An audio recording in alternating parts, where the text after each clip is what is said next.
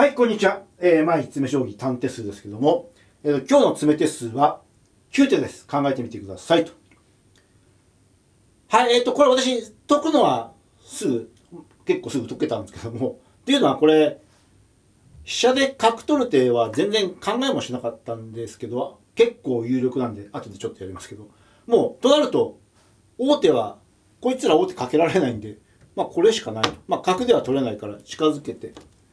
で、まあ、これでもう、ここに、飛車の、ま、まさに登竜門が開いてるんで、この手も見えるかなと。ここに来た時に、ここ合気数なんで、桂馬が引いてるんで。まあ、これ、まあ、もちろん取るしかなくて、で、まあ、飛車が、一回でここでなっちゃったらもう反則なわけですけど、これでまあ、こっちに逃げるのはもう飛車がなるだけで詰んじゃうんで、どっちに逃げるまあ、頑張って、広い方に逃げようとするんですけど、それでももう桂の引き寄せをしてなって、これも逃げる一手で、桂成で詰んじゃうんでこれ自体はそんなに難しくなく解けたんですけどよくよく考えてみたらこれ結構有力なんですよ。まあ、これもちろん取る一手ででまあ実はこれ上スカスカに見えますけどまあ馬がここに効いてるんでこういう手が効くんでそんなに別に上が広いわけじゃないんでまあ角の王手が考えられると。そうするとまあここは合駒するしか逃げるのは金で済んじゃう下行くのも金で済んじゃうんで合駒それしかないんですけどもまあ歩は効かないんで合駒の種類は5種類このうち積むのが3種類で積まないのは2種類なんで積まない合駒をきちんと選ばなきゃいけないっていう点では結構あ変化に富んだ問題だったんだなということでまあえっと、ここから先、どれが積んでどれが積まないかを考えてみるのも面白いかと思いますと。で、まあ、大概高そうなコアは、ダメっぽいんですけど、一応でも、なぜダメかは。まあ、これとにかく、なんだろうととにかく取るしかない。取って、同玉までは必然で、その時に、飛車があるか、金があるか、金とこれらのどれか。で、飛車金だったらもうさすがにこれは、こう横になれるんで。で、まあ、横に逃げるのはもう上塞いじゃえばいいんで、合駒、金で詰んじゃうんで、まあ、頑張って上に逃げるんですけど、この場合はもう、飛車が残ってるんで、金捨てて、これでもう、詰みということなんで、飛車はまあダメと。じゃあ、えっと、この状態で金と金だとどうなるかというと、えっと、これ今度こうなっちゃうと、これはもうちょっと金2枚じゃ足の長いのがないんでつまんなくなっちゃうんですけど、これは普通にベタッと打つと。でもどっちへ逃げてもこの歩を取っちゃうと。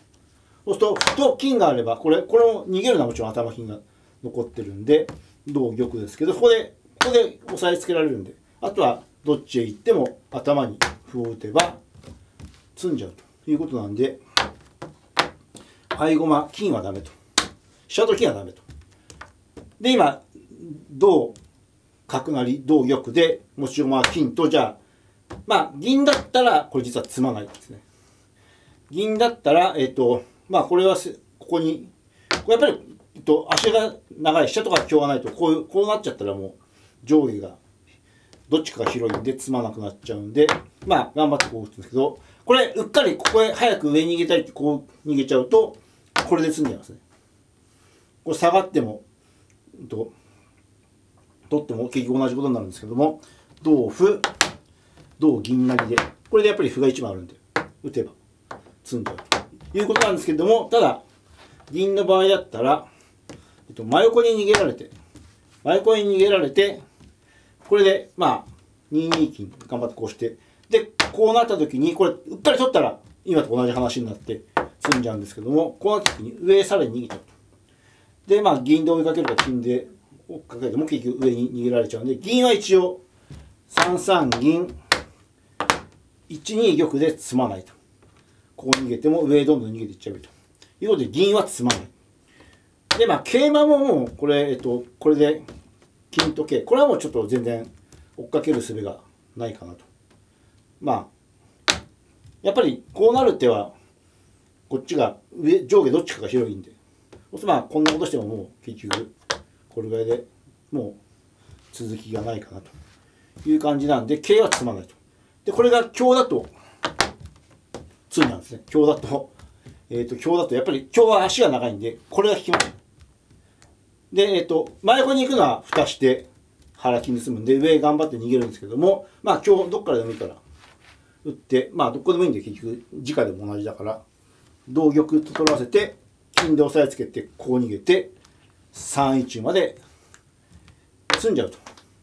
いうことなんで、まあえー、と結局詰まないのは銀と桂だけという話だったんでそんなにまあ簡単な問題じゃなかったと。まあちゃんと変化を読むならばと。まあで結局詰め手順は2二金同じく玉。3一馬同じく玉。3四飛車。まあ4一でも4二でも3二飛車成5一玉。5二桂成までの9手詰めとなります。じゃあ以上です。ご覧いただきありがとうございました。えー、詰将棋動画には、えっと、このように再生回数の多い人気の動画も多々ありますんで、えっと、この辺あたりをクリックして、えっと、別の動画も見ていっていただけたら嬉しいと思います。よろしくお願いいたします。ありがとうございました。